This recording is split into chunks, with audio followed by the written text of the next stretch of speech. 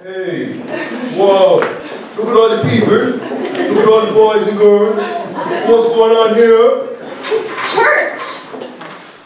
Church. This doesn't look like any church I have ever been to. Where are the stained glass windows? Gold hard benches? Big pillars? Silly, those don't make it church. People do. You're looking at the church when you see all the people out there. Really? Wow. Well, they are a good looking church then. I think so too. All of them, that is. And do you know what? What? It's their 22nd anniversary together.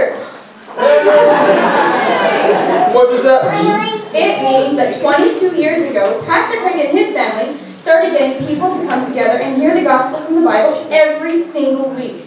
And look who keeps coming. Are you sure Pastor wants all of them to be here? Yes, and more. How come these people keep coming? Because of Jesus. Jesus does something wonderful in your heart. And when you follow him, he makes daddy sober and teenagers respectful. Can Jesus make girls kind? So you know some that are as mean as the devil.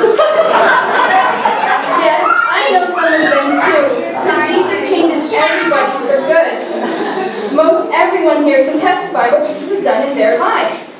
But what if you are too old, like me? You're kidding, right? Too old? Jesus says no one is too old. No one is too far gone, whether young like me or old like you. We all have the same need, Jerry, and that is to be born again. But I keep messing up.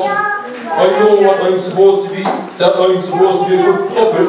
But I'm not like anyone here. I do wrong. Oh, but Jerry, that's the point. We are all messed up. It's called sinning against God. And we all have tried to fix ourselves, but only Jesus can change us. I wish you would change my sister. Change it.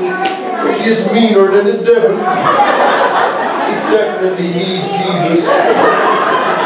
Oh, Jerry, I think you probably need Jesus too. None of us are righteous. None of us are without sin. All of us, young and old, need to believe and receive what the Bible calls the gospel. Cool. I can't wait for church then. If the gospel still changes lives, I want to see it work in my life today. I sure hope everyone here is listening and ready to follow Jesus. I know I am. You better get to preaching, Pastor. I think some people are ready to hear. Bye, everybody. See you later.